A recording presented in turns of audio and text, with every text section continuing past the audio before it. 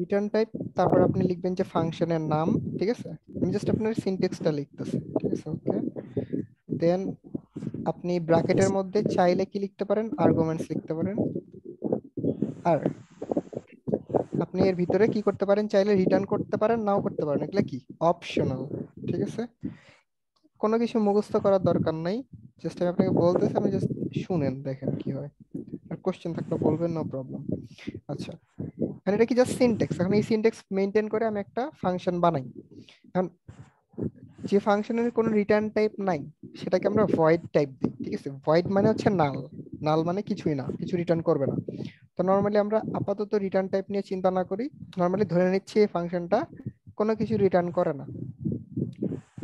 একটা নাম দেন ফাংশনের ফাংশনের নাম দিলাম যে প্রিন্ট নেম ঠিক আছে? নাম আপনার ইচ্ছা। দেন এর মধ্যে কি করেন? একটা প্রিন্ট দিলাম। এফ। লিখলাম যে হ্যালো আমি ইউজার ডিফাইন্ড ফাংশন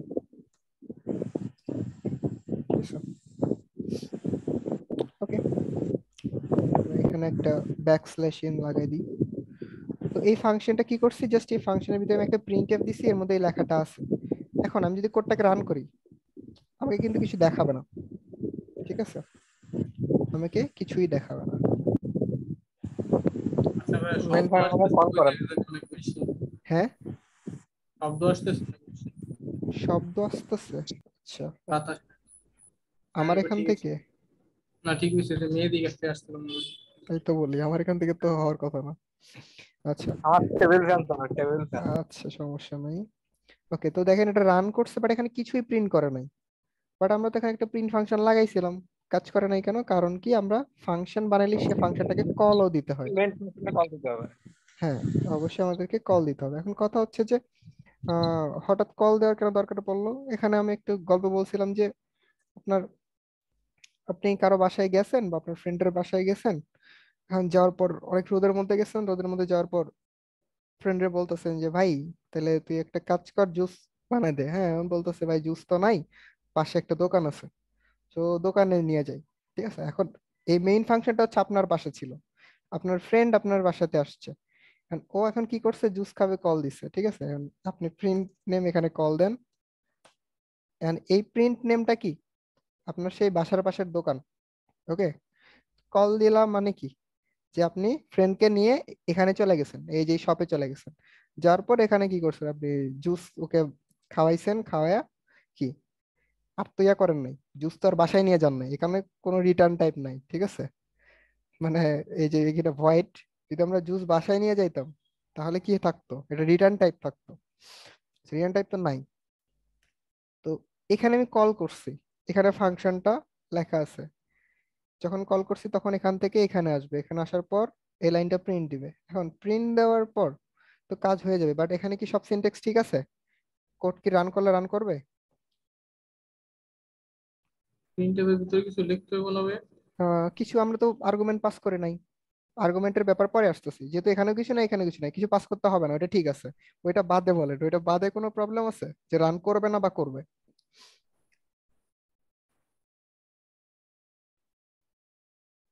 বলেন যে পারেন সেই বলেন সমস্যা নেই।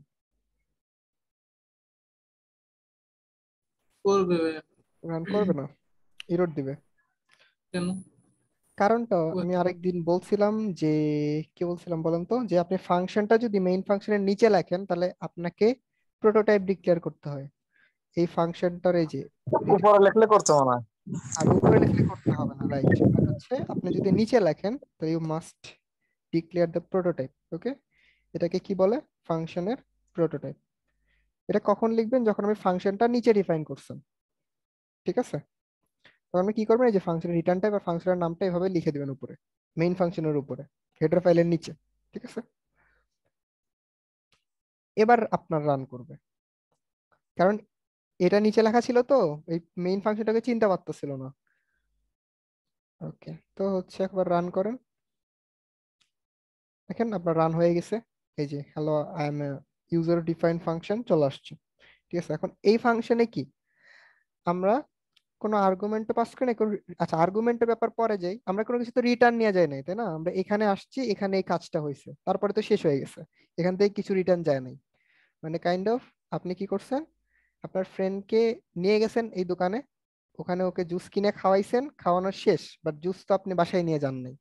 তো এই ফাংশনটাকে আমরা একটা টাইপের মধ্যে বলতে পারি, যেটা হচ্ছে নো রিটার্ন ফাংশন সাথে নো আর্গুমেন্ট আর্গুমেন্ট হচ্ছে যে আপনি ফাংশনকে ইনপুট হিসেবে কিছু দিচ্ছেন কিনা ঠিক আছে? আপনি যে কোন একটা ফাংশনকে ইনপুট হিসেবে কিছু দেন তাহলে ওটাকে আমরা আর্গুমেন্ট হিসেবে দিই ঠিক আছে? বা প্যারামিটারও বলে। এখন হচ্ছে এটা একটা টাইপ গেল যে ফাংশন কোনো কিছু রিটার্নও করে না আবার কি করে না? কোনো আর্গুমেন্টও নেয় না। আর্গুমেন্ট নাই। আচ্ছা এখন আপনি আরেকটা ফাংশন নেন যেটার মনে করেন যে আর্গুমেন্ট আছে। ভয়েড নাম দিলেন হচ্ছে যে সাম বা অ্যাড অ্যাড নাম দিলেন যে যোগ করবেন ঠিক আছে? এরকম একটা ফাংশন দিলেন। এখন যোগ করার জন্য কি লাগবে? অ্যাটলিস্ট দুইটা ভেরিয়েবল তো লাগবে মানে হচ্ছে দুইটা নাম্বার তো লাগবে তাই না? তো সেটা আপনি এখানে এখানে আপনি দুইটা ভ্যারিয়েবল ডিক্লেয়ার করে দেন। এই যে দুইটা ভ্যারিয়েবল ডিক্লেয়ার করে দিতেছেন এখানে এটা হচ্ছে আপনার আর্গুমেন্ট ঠিক আছে? এটার নাম আপনার ইচ্ছা টাইপ আপনার ইচ্ছা। আপনি যেভাবে যদি ইন্টিজার নাম্বার যোগ করতে চান তাহলে ইন্টিজার দিবেন। যদি ফ্লোট নাম্বার যোগ করতে চান তো ফ্লোট দিবেন। এটা টোটালি ডিপেন্ড করতেছে আপনার উপর। এখানে শুধু দুইটা না আপনি চাইলে আরও দিতে পারেন ঠিক আছে? নাম্বার থ্রি এখানে নামগুলো কি? ভেরিয়েবলের নামও? এতদিন পর হলে এত দর্শক দেখে মানে তো এখন আপনার কি হ্যাঁ ওই ইন্টিজার কি প্রত্যেকবারই লিখতে হইব? শুধু আমি যদি আহ, ইন্টিজার একবার আপনি ভেরিয়েবল আপনি ভেরিয়েবল ডিক্লেয়ার করেন কীভাবে? হ্যাঁ হ্যাঁ হ্যাঁ। আপনি এখানে আপনাকে কমা দিয়ে কমা দিয়ে ডিক্লেয়ার করতে হবে ঠিক আছে? আপনি আবার মানে মেইন ফাংশনের মধ্যে যেরকম ডিক্লেয়ার করেন এভাবে এভাবে লিখতে যান না তাহলে ভুল হয়ে যাবে ঠিক আছে? এটা তো নর্মাল ডিক্লারেশন না এটা হচ্ছে আপনার কি? এটা হচ্ছে আপনার আর্গুমেন্ট ডিক্লেয়ার করতেছেন বা ডিফাইন করতেছেন। এটার মানে হচ্ছে যে আপনি এই ফাংশন যখন কল করবেন, এর মধ্যে আপনি তিনটা নাম্বার পাস করবেন, দিবেন ওকে ইনপুট হিসাবে, ঠিক আছে? আচ্ছা দেওয়ার পর কি হবে? আপনি এখানে একটা ভ্যারিয়েবল নেবেন মনে করেন যে ইন্টিজার সাম নামে একটা ভ্যারিয়েবল নিলেন, ওটার মধ্যে তিনটা যোগ করে দিবেন। Number one number two number three ঠিক আছে? তিনটা যোগ করে এটাকে এখানে প্রিন্ট করে দিবেন। প্রিন্ট এফ যে summation of percent d percent d percent d equals to percent d. আচ্ছা এখন বলেন তো এখানে আমি কি করতে চাচ্ছি? এতগুলা পার্সেন্ট ডি লিখলাম কেন? প্রথম পার্সেন্ট ডি এর জায়গায় নাম্বার ওয়ানের ভ্যালু দেখাবে পরের পার্সেন্ট ডি এর জায়গায় নাম্বার টু এর ভ্যালু নাম্বার দেখাবে নাম্বার থ্রি নাম্বার থ্রিটা দেখাবে তারপরে কি? টোটালটা দেখাবে তাই না? বা সামটা দেখাবে। বুঝতে পারছি? প্রিন্ট এফ কে আমি আমার ইচ্ছা মতো কাজে লাগাবো। প্রিন্ট এফ এর ইচ্ছা মতো তো আমি চলবো না তাই না? সো আমার প্রিন্ট এফ আমার ইচ্ছা মতো কাজ করবে মানে কি ইরো দেয় আচ্ছা। তো এই যে ইনভার্টেড কোটের মধ্যে আমরা যা লিখি সেটা কি আমাদের ইচ্ছা। আর এগুলাকে কি বলে? পার্সেন্ট ডি এগুলা কি জিনিস? পার্সেন্ট ডি কেন ফরম্যাট ডেসক্রিপ্টর ভাই। ফরম্যাট ডেসক্রিপ্টর স্ক্রিপ্টর বা ডিসক্রিপ্টর হ্যাঁ আচ্ছা ডিসক্রিপ্টর বলছেন ওকে ফরম্যাট স্পেসিফায়ার বলে। এটা কি? ইন্টিজার টাইপের জন্য তাই না? আর ফ্লোটের জন্য কি লিখতাম? পার্সেন্ট এফ পার্সেন্ট এফ ডাবলের জন্য কি লিখতাম? পার্সেন্ট এল এফ ওকে এটা তো আপনি ভালো পারছেন। এবার বলেন হেক্সাডেসিমেলের জন্য কি লিখতাম? পার্সেন্ট এক্স ওকে আর কি পার্সেন্ট এক্স হ্যাঁ পার্সেন্ট এক্স দাও সম্ভব। আর আর কিছু দিয়ে সম্ভব? সম্ভব জানা নাই। অবশ্যই পার্সেন্ট ইউ দিয়েও সম্ভব ঠিক আছে? আচ্ছা আপনি তো ভালো পড়াশোনা করছেন গুড ওকে আচ্ছা সো প্যারা নাই, এটা মুখস্থ করার কিছু না, ঠিক আছে? আপনার মুখস্থ করা লাগবে এমন কিছু না। আপনি জাস্ট ইউজ করতে পারলেই হয়েছে। আচ্ছা তো এই ফাংশনটা কি হবে এখন? আমি যদি ফাংশনটাকে কল দেই ফাংশনটাকে আমার তিনটা প্যারামিটার নেবে, বা তিনটা ইনপুট নেবে, ঠিক আছে? আবার ইনপুট বললেন না, আমি বলতেছি ইনপুট ঠিক আছে? বাট এগুলাকে কি বলে? আর্গুমেন্ট বলে, ঠিক আছে? প্যারামিটার নাম শুনবেন। এখন যদি বলেন যে, ভাই প্যারামিটার আর আর্গুমেন্টের মধ্যে তফাৎ কি? ঠিক আছে? যদি আপনি স্পেসিফিক ভাবে জানতে চান যে হচ্ছে প্যারামিটার কাকে প্রাইস সেম। না প্রাইস সেম ঠিক আছে বাট তারপরে আপনি ইচ্ছা হতে পারে না যে দুইটাকে তাহলে দুইটা নাম কেন? মানে দুইটা একই জিনিসই যখন তাহলে দুইটা নাম কেন? তো এটার কোশ্চেনের অ্যান্সার হচ্ছে আপনি যখন ভ্যালুটা দেন এই ফাংশনটা কল করেন এখান থেকে যে ভ্যালুগুলো দিবেন সাপোজ আপনি টেন ইলেভেন আর টুয়েলভ পাস করলেন।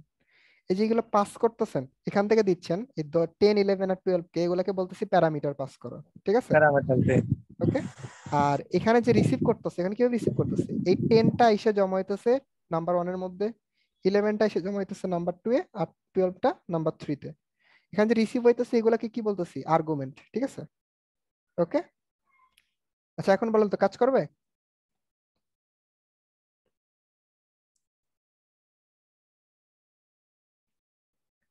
কাজ করবে না?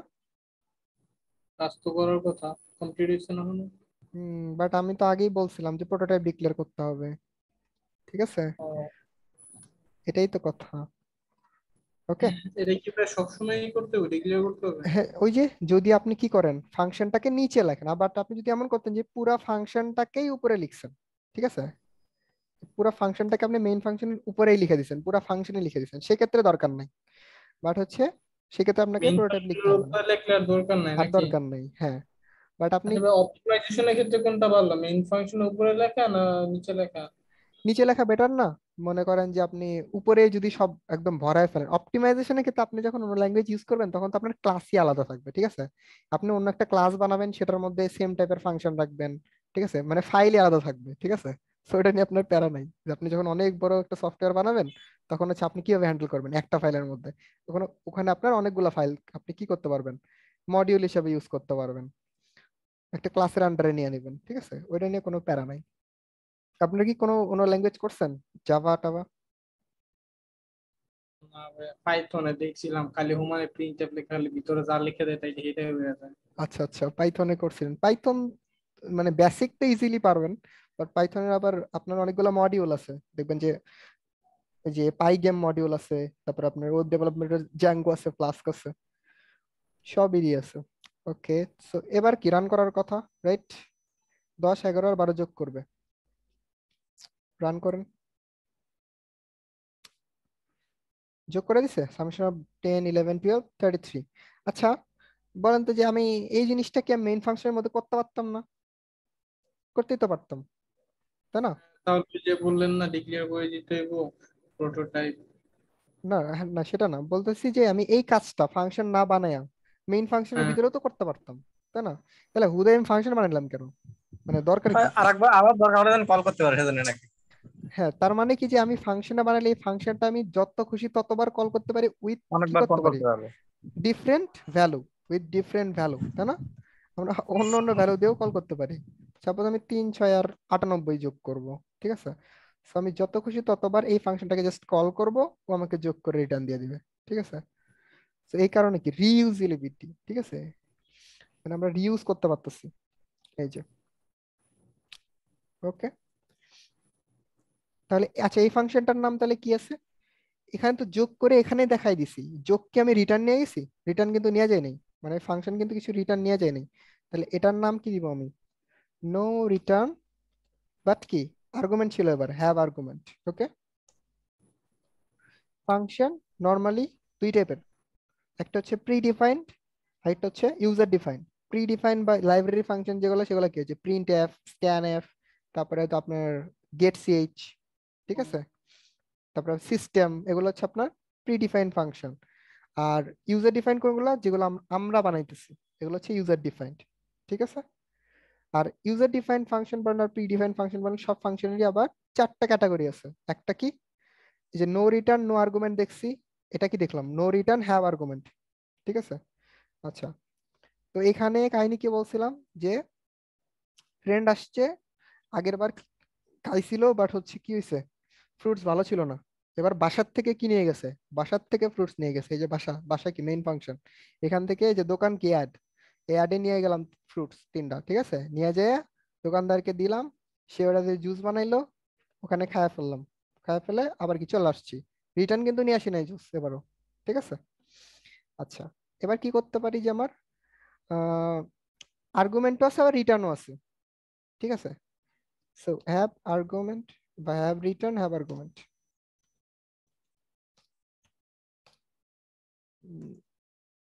argument আচ্ছা। তো, এখানে আপনি কি করতে পারেন যে একটা ফাংশন এবার কিন্তু রিটার্ন আছে, তাই না? আচ্ছা এখন মনে করেন যে আপনি এই ফাংশনটাই রিটার্ন করবেন। তো এই ফাংশন রিটার্ন করবেন কি হবে যে এই ফাংশনটাতে আমরা এখানে প্রিন্ট দিয়ে দিছি না বাট আমরা রিটার্ন করব কি, এই যোগফলটাকে রিটার্ন দিয়ে দিব। এখানে প্রিন্ট করব না। মানে কাইন্ড অফ জুস ওখান থেকে বানাই নিব বাট ওখানে খাব না। বাসায় নিয়ে যাবে খাব, ঠিক আছে? তাহলে আপনি কি করবেন এখানে? রিটার্ন টাইপ কি হবে? রিটার্ন করতেছেন সাম সামের টাইপ কি? ইন্টিজার তাহলে রিটার্ন টাইপ ইন্টিজার এটার নাম দিলেন অ্যাডিশন একই নাম দিলে আবার ওভারলোড হয়ে যাবে। Same int number one int number two int number three ঠিক আছে? ওকে এখানে আপনি জাস্ট কি করবেন? এইটুক কাজ করবেন। দেন কি করে দেবেন? রিটার্ন রিটার্ন সাম ওকে যোগ করলেন, যোগফলটা সামের মধ্যে ছিল সামটাকে রিটার্ন করে দিলেন। এবার মেইন ফাংশনে আপনি কি করতেছেন? অ্যাডিশনের কল দিতেছেন। তো অ্যাডিশনাল কল দিয়ে এখানে তিনটা ভ্যালু পাস করতে হবে। আমি suppose three six nine pass করলাম। আচ্ছা এখন ও তো আমাকে রিটার্ন দিবে বাট এই রিটার্নটাকে তো আমার প্রিন্টও করাইতে হবে, তাই না? এখানে তো আমি প্রিন্ট দেই নাই কোথাও। তাহলে প্রিন্ট দিব কীভাবে? আমি যদি নর্মালি রান করি এখন, এটা এগুলারে আমি কমেন্ট করে দিচ্ছি, তাহলে দেখব যে কিছুই হবে না। কারণ কি? ফাংশনের কাজ হয়েছে যোগ হয়েছে বাট রিটার্নও দিছে। বাট রিটার্নটা আপনি কোথাও সেভ করার নাই ওটা প্রিন্ট করার নাই। আচ্ছা ওখানে এটা কি নিচে লিখছি? না, নিচে তো লিখি নাই। কি সমস্যা? Print name print name has no type কই রে বাবা?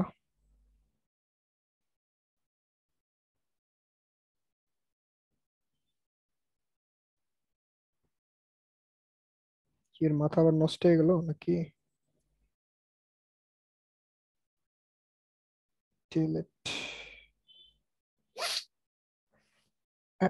ও। আচ্ছা এই যে রান করছে বাট কিছুই আসে না তাই না? কারণ বলছিলাম যে, ও তো আমাকে রিটার্ন দিছে, ঠিক আছে বাট আমি তো ওটা প্রিন্ট করাই নাই, ঠিক আছে? আচ্ছা ও আমাকে যে রিটার্নটা দিবে, সেটা কি টাইপের ইন্টিজার টাইপের না? এই যে ইন্ট রিটার্ন টাইপ এখানে ইন্টিজার ছিল।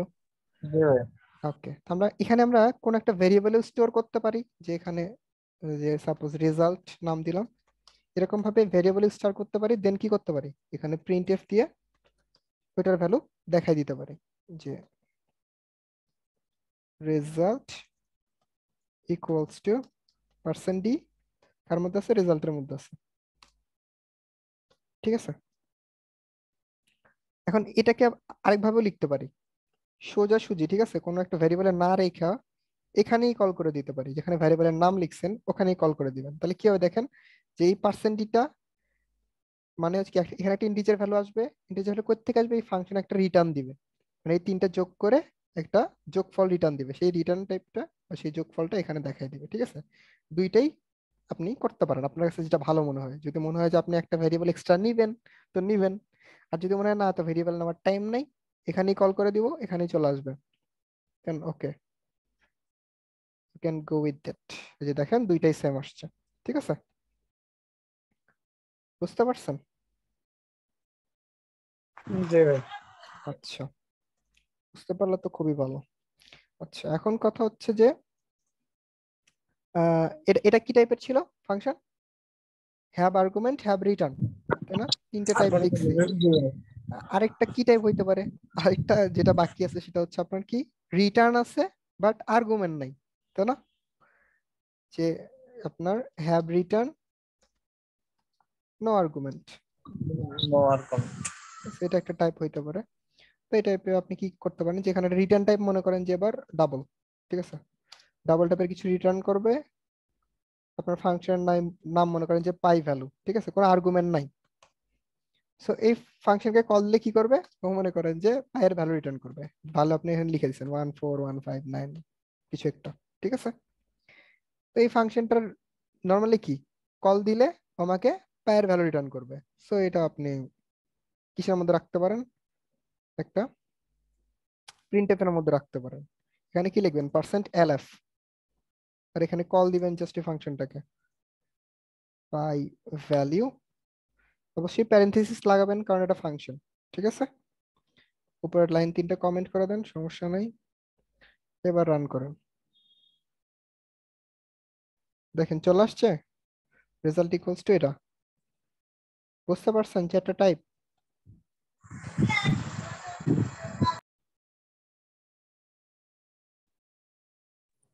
কমেন্টটা করলেন কি হবে ও কমেন্ট কীভাবে করলাম? কন্ট্রোল স্ল্যাশ এটা আপনার ইয়াতে কাজ করবে না হয়তো কি বলে কোড ব্লকসে কন্ট্রোল স্ল্যাশ ঠিক আছে? কন্ট্রোল স্ল্যাশ এটা দিয়ে আপনি কমেন্ট করতে পারবেন। আচ্ছা আপনি কি ভিএস কোডে করেন? নাকি কোড ব্লকসে কোড ব্লকস আচ্ছা কোড ব্লকস করে কি করবেন? ভিএস কোডে করবেন বা হচ্ছে মডার্ন কম্পাইলারে করবেন ঠিক আছে? কোড ব্লকসে কইরা দেখবেন যে মজা লাগতেছে না। ঠিক আছে? আচ্ছা সমস্যা নাই। দেখতে- সুন্দর রঙিন। আচ্ছা এটা তো থিম লাগানো আছে। আপনি অনেক টাইপের থিম আছে ভিএস কোডের মধ্যে। আপনি যে এখানে এক্সটেনশনে যা থিম লিখে সার্চ করলে অনেক টাইপ থিম আছে। আপনার যেটা ভালো লাগে। দেখেন material icon Atom one dark winner কি কি জানি। ঠিক আছে?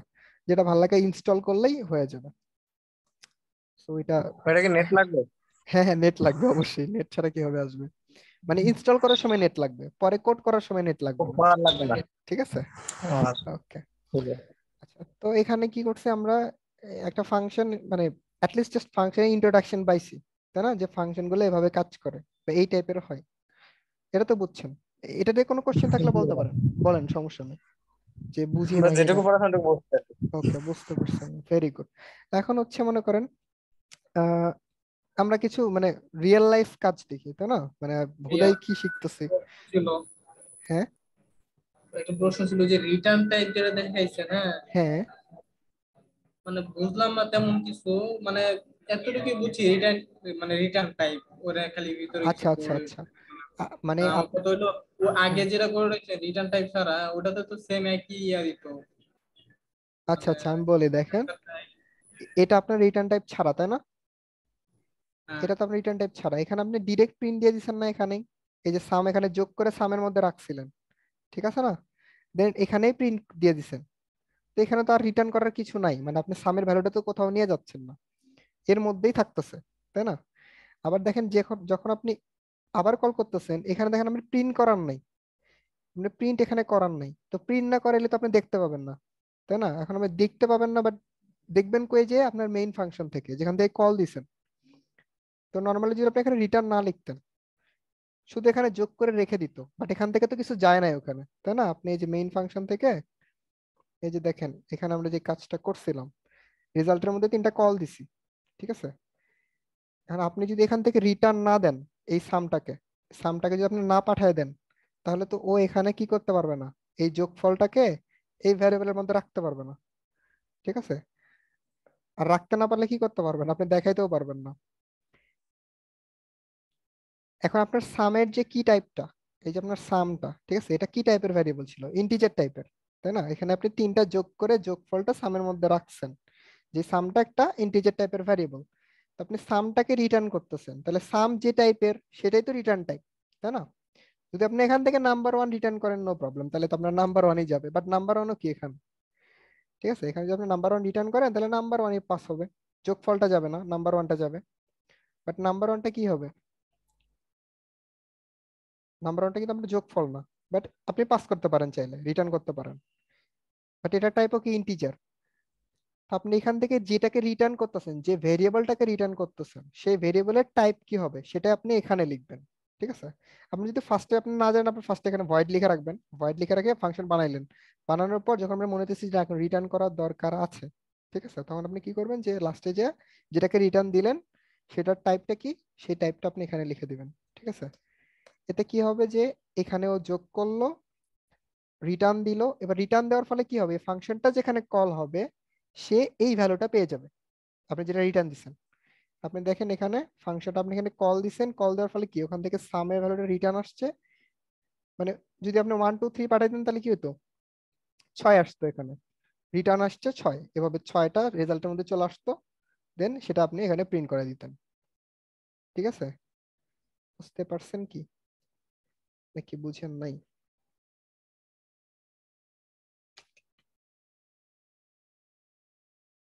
বুঝেন নাই?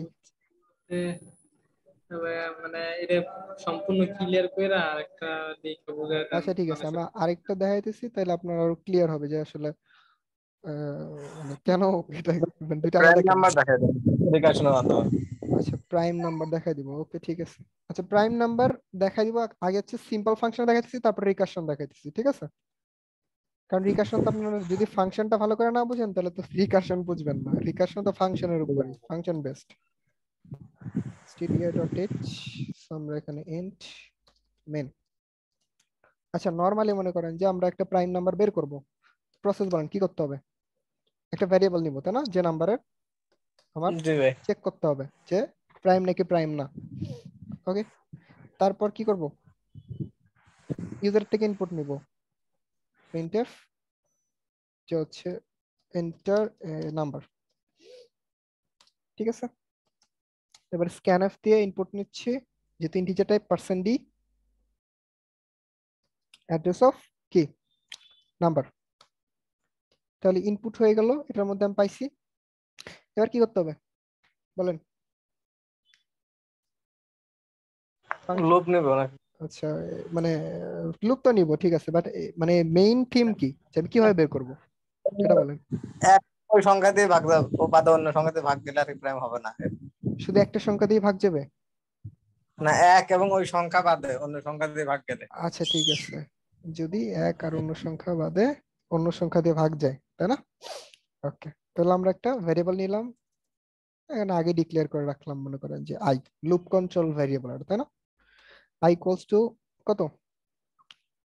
মান থেকে শুরু করবেন মনে করেন। আই লেস দেন কত পর্যন্ত চলবে? টু থেকে শুরু হবে না এক দিতে ফাঁক দেবে না টু থেকে শুরু হবে না? ঠিক আছে আপনারটাও আপনারটা আমি বুঝছি। আপনি জিরো মানে আপনি কাউন্ট করবেন যে একটাও পাবে না ওকে ঠিক আছে। টু থেকে শুরু করলাম তাহলে যাব কোন পর্যন্ত? নাম্বার পর্যন্ত? নাম্বার রাখ হ্যাঁ নাম্বার রাখ পর্যন্ত। আচ্ছা আমি এখানে একটা স্ট্রিক দেখেন নাম্বার বাই টু কেন বলেন তো? কারণ হচ্ছে একটা নাম্বারে অর্ধেক গেলে তো তারপর আর হবে না যে অর্ধেক ভ্যালুর বেশি থেকে কোনো সময় ভাগ যাবে না। আপনি number by two then then আপনি চেক করবেন কি? আই প্লাস প্লাস চেক করে বাড়বেন ঠিক আছে? এখানে আপনি কি চেক করবেন? ইফ কন্ডিশন চেক করবেন। If number percent I equal equal zero ঠিক আছে আপনি একটা ভ্যারিয়েবল নেন কাউন্ট কাউন্ট করবেন কয়বার ভাগ গেল? আচ্ছা এটার মানে কি? এই যে number percent I equals equal zero এই পার্সেন্টের মানে কি? এটাকে কি বলে? মডুলাস মডুলাস মডুলাস বলে। মডুলাস তো বুঝলাম প্রোগ্রামিং ভাষায় বাংলা ভাষায় বলেন এটা কি? ভাগশেষ রাইট রিমাইন্ডার জিরো হলো আর কি। রিমাইন্ডার ওকে ভাগশেষ যদি জিরো হয় তাহলে কি হবে এখানে? আমার কাউন্টের মান প্লাস প্লাস যাবে। মানে হচ্ছে আমি একটা কি পাইছি? এক বাড়ছে। আচ্ছা এখানে আমি যাইতেছি দুই থেকে ওই নাম্বার অর্ধেক পর্যন্ত। এর মধ্যে যদি কোনো সংখ্যা দিয়ে ভাগ যায় তার মানেই তো কি? ওইটা? কি না? প্রাইম না। তাহলে আমার কি আর হ্যাঁ। চেক করার দরকার আছে? একবার কাউন্ট যদি পেয়ে যাই তাহলে তার চেক করার দরকার নাই। আমি জাস্ট ব্রেক দিয়ে দিব। না না আমি কেন হুদাই এটাকে পুরাটা সময় ধরে ঘোরাবো? যদি আমি রেজাল্ট জানি যে একবার যদি আমি কাউন্ট পাই তাহলে তো আমার ওটার প্রাইম হবে না। তাহলে আমি কি করে দেবো? ব্রেক করে দিব। এখন আপনি বলবেন যে, কেন এইটুকু তো কম্পিউটারের কাজ করতে অনেক বেশি সময় লাগবে না? ঠিক আছে? হ্যাঁ লাগবে না। যখন আপনি অনেক বড় ক্যালকুলেশন করবেন, তখন কিন্তু টাইম লেগে যাবে। তো আপনার এই ছোট ছোট জিনিসগুলো কি করবে? আপনার যে অ্যাপ্লিকেশন বানাবেন বা আপনার সফটওয়্যারটা বানাবেন সফটওয়্যারের স্পিডটাকে অনেক ফাস্ট করে দিবে। ঠিক আছে? এই ছোট ছোট ট্রিকগুলো তো এই কারণে এখানে আমরা দিলাম যে ব্রেক করলাম। ব্রেক করার পর কি ফর লুপ থেকে বের আসব? তারপর কি চেক করব? If count is equal equal zero তাহলে কি করব? কেউ কি কিছু বলল? বুঝি নাই। আচ্ছা হোক। কাউন্ট যদি জিরো হয়, তাহলে কি বলব? Percent D is a prime number okay এখানে আপনি পার্সেন্ট ডি বলতে নাম্বারকে বুঝাইতেছেন। এটারে কপি করেন। এবার এলস পার্টে যায় কি বলবেন?